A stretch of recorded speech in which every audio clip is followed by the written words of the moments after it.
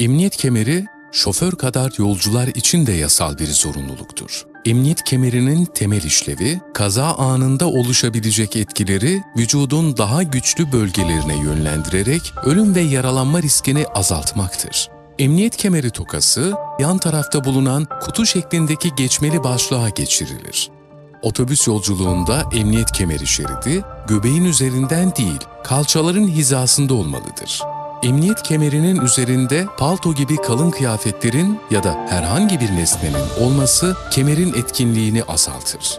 Kemer takıldıktan sonra şeridi çekilerek kontrol edilmelidir. Az bir kuvvet uygulandığında yerinden çıkıyorsa bu durum ulaşımdan sorumlu personele bildirilmelidir. Unutmayın, emniyet kemeri kullanmak olası bir kaza anında riski %60 oranında azaltmaktadır. Emniyet kemeriyle güvenli trafik bir hareketinize bakar.